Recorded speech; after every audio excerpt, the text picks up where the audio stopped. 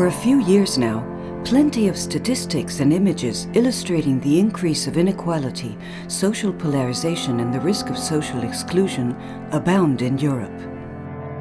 A lot of the jobs you get nowadays, they don't want to pay you according to the hour. They want to give you £20 a day or £15 a day. Something basically, they want to take advantage of this, your position basically.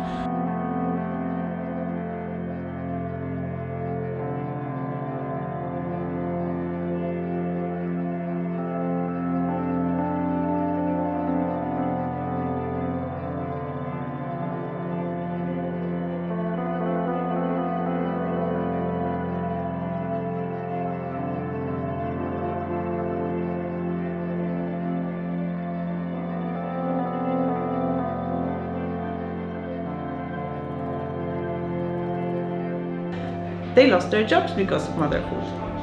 And they, or they had real problems with coming back to the labor market. One of my friends was literally kicked out of her job uh, after, after she finished her maternity leave. The other one um, was really struggling.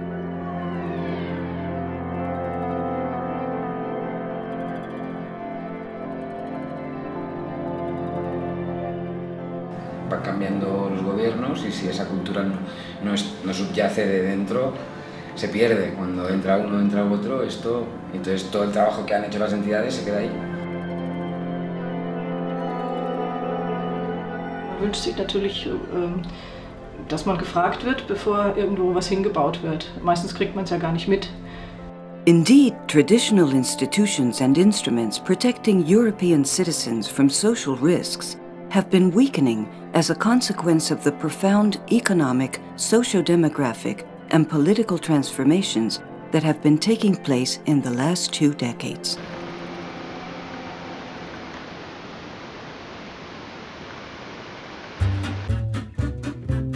The protection system called welfare was based on some structural conditions that no longer exist, such as constant economic growth, an expanding number of workers with permanent well-paid job contracts, a division of labor inside families based on gender, an insured family income mainly via male breadwinner, and an increasing supply of welfare benefits and services protecting people from some of the most common risks such as aging, sickness, disability, and unemployment.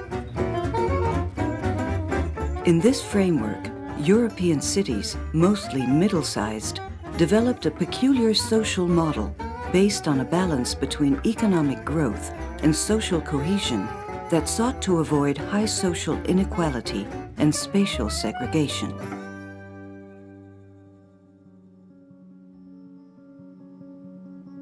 Four structural dynamics have been identified that alter the social cohesion of cities. The changes in the labor market, like flexibilization and casualization, the changes in housing markets, meaning recommodification and appropriation of the housing sector by private owners, the transformation of family structures, like the increase in work care reconciliation problems as a consequence of growing female employment and the weakening of family solidarity, and the modifications of migration flows, meaning ethnic pluralization with a higher risk of social marginality for the most disadvantaged individuals. The impacts of these objective facts and trends on citizens experiencing them are differentiated. Three groups were studied in the Wilco project, unstable employed youth, single mothers, and first-generation migrants. But when I left, I found that I couldn't find a job. Um, I couldn't find any tra other training. Um, I felt like I was just left, really, just pushed into the world with no support of getting any work or nobody would hire me. I moved to London for a year and a half, but things never really worked out. I had a couple of auditions, but nothing too serious, so I moved back to Birmingham.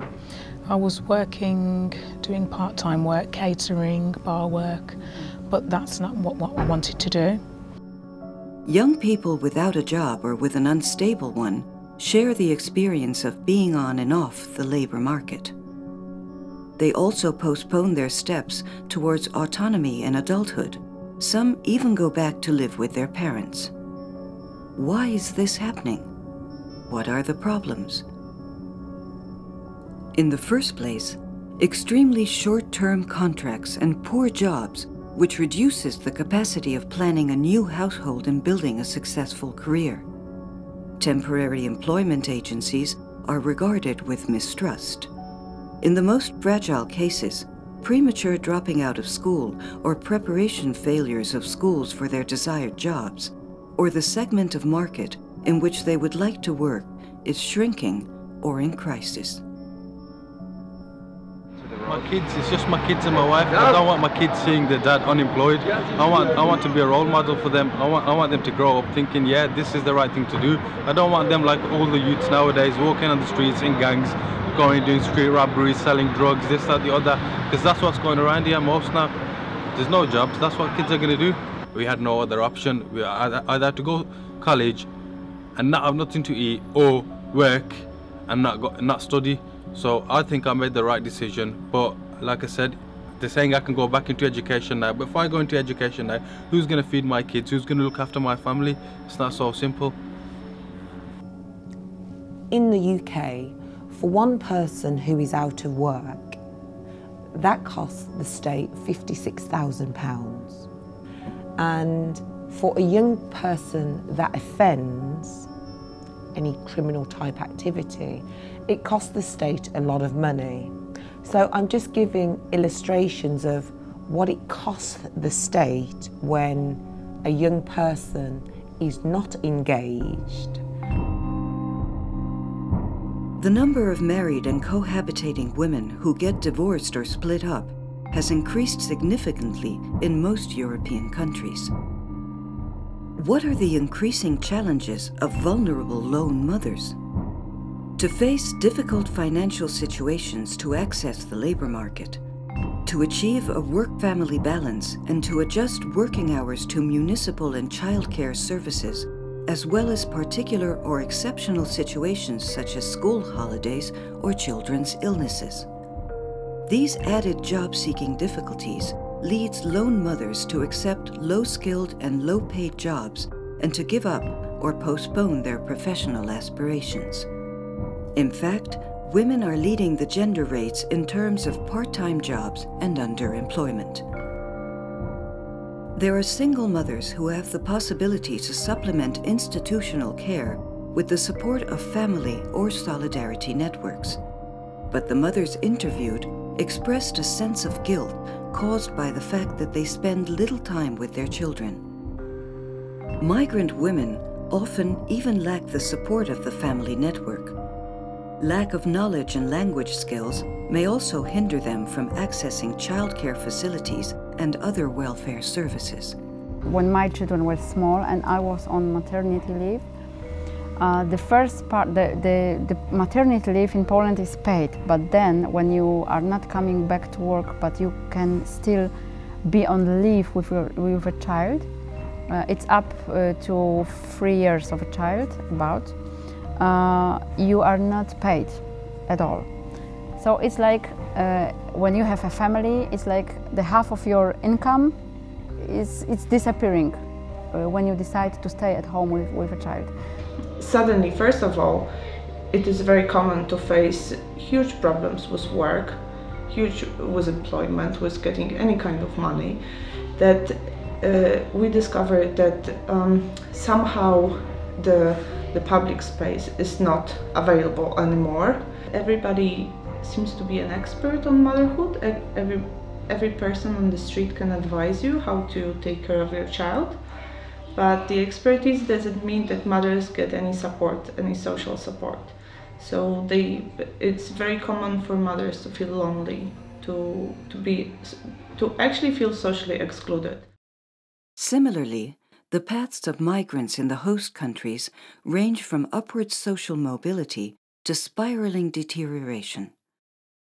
Their life chances depend on a combination of institutional and individual features and particularly on whether they have a permit to stay and of what type which defines their status in the country where they live and subsequently conditions their opportunities to access the labor market, the housing system, and the welfare institutions.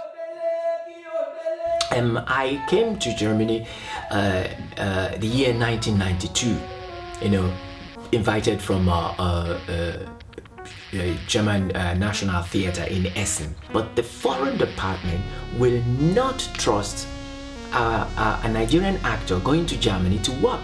They tried every best possible, but everything proved abortive. Now, they stamped in my visa that I'm not allowed to work. If these people started looking for which ways to help me, after some times they get stalked. They said, We're sorry, we couldn't help you. So they dumped me. So you can see how my whole life depends on just this one sentence. So who the hell can get this thing out of my paper? Nobody. Das kann vielleicht noch jemand äh, begreifen, der vielleicht mal selber im Ausland irgendwo war, wo er dann äh, nicht unbedingt mit Englisch weiterkam und plötzlich dann irgendwo in der Bushaltestelle stand und irgendwo vielleicht mal ein Hotel suchte. Und sagt, nee, was mache ich denn jetzt? Wen fahre ich denn jetzt? Ich verstehe die Leute nicht. Ne? Muss ich jetzt hier draußen übernachten? Nee, muss ich jetzt verhungern? Wo ist denn jetzt nächste, das nächste Geschäft? Das sind so ganz simple Sachen. Äh, es ist natürlich eben einfacher zu sagen, die müssen das, die müssen das, die müssen das. Wie viel Belastung auf die Leute zukommt. Ganz abgesehen davon, es sind, man darf es nicht vergessen, Asylsuchende äh, und, und, und Bleibeberechtigte. Das heißt, die kommen aus Krisengebieten, die sind zum Teil sehr traumatisiert. Ja, das ist ja nicht so, dass sie dann irgendwo sagen, ja, dann wechsle ich mal das Land, gehe mal für zwei Jahre nach Deutschland, weil es so schön ist, und dann gehe ich mal nach Frankreich. Paris war schon immer mein Wunsch. Ja. Das ist ja nicht so wie ein EU-Bürger, der das Land mal wechselt, weil er sagt, das finde ich ja spannend, ich habe mal Französisch in der Schule gemacht, ich möchte ganz gerne drei Jahre in Frankreich arbeiten. Die flüchten in ein unbekanntes Land, ja, die wurden irgendwo aufgenommen nach bestimmten Schlüssel. Äh, die befinden sich irgendwo in Auffanglager, in, in Asylbewerberheim und müssen da erstmal zurechtkommen. Sehr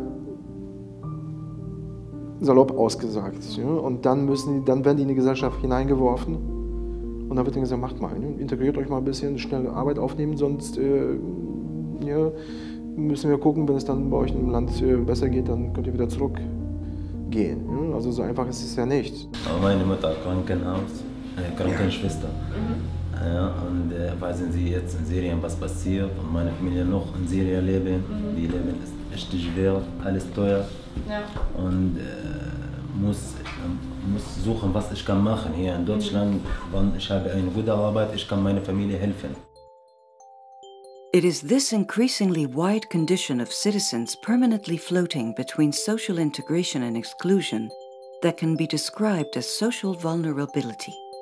Vulnerability means not only a high probability of becoming poor or socially excluded, but also facing specific difficulties that are intrinsic to weak integration into the main social mechanisms of resource distribution the labor market, the welfare system, and family organization.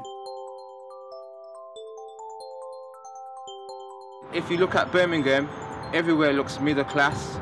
Or if you really start to look underneath the surface, there's a lot of broken areas, there's a lot of disengagement, there's a lot of disenfranchised youth, there's a lot of businesses that are trying to run but are not becoming sustainable. And that's due to business rates going up. Certain needs that they're required, they're not being fulfilled by the government. Unfortunately, we don't always get it right. I personally feel that the city could have done a lot more in terms of creating real change. And we talk about social innovation and, and all these, these terminologies, but on a grassroots level, if you ask the young people, they will tell you that these things have not necessarily had a major impact on their lives or created real change. And it has been disappointing because a lot of them have not actually felt the impact and the effect that those policies that the government may have. Birmingham by all means is not perfect, but I think we are slowly getting there uh, in terms of what we're trying to achieve. Um, but there were no miracles necessarily happening. And if there were, there was happening while I was sleeping. Not everybody's open to change and is a bit resistant. But when you see the amount of impact from a programme that we've changed people's lives, that it saved the state, so the economy, you know, from a political point of view, there's, there's mileage to be had. So we live or we work in a very diverse neighborhood, um, which is partly um, influenced by migration, which is also um, partly a very poor area. On the other hand, it's rich in forms of alternative culture. Um, we're facing also, of course, now processes of uh, gentrification, uh, social segregation, um, and we're trying to um, make a difference in this kind of context and to show people that the value of places is not just to be um, um, to be uh, figured out in monetary aspects, but also in social and ecological aspects. Um, and we have a lot of, um, let's say, contradictions we have to face. The very poor area with the highest rents right now.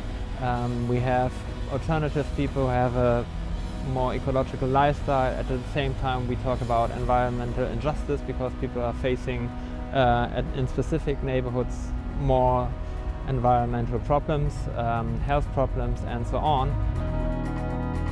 Research has revealed that two groups of cities are dominant in specific areas of the continent. Inclusive cities are prevalent in Nordic as well as some of the richest continental countries, the Netherlands, Germany, and Switzerland. And vulnerable cities are concentrated in Central Eastern and Southern Europe. A third type of cities can be identified, those with a selective labour market, which are scattered through different areas of Europe, including the UK, continental countries, and the northern regions of Mediterranean countries. The same trends endangering social cohesion were found both in the most and least competitive cities, though with different extension and intensity, hitting social groups that in the past had long been in a stable, integrated social position.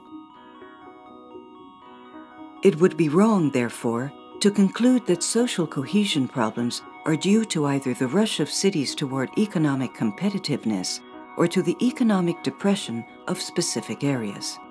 Some of these processes and trends have occurred both in cities with high economic performance and urban areas with a depressed, low performing, and poorly attractive local production system. Indeed, urban strategies and outcomes to deal with social vulnerability actually differ very much throughout the European Union.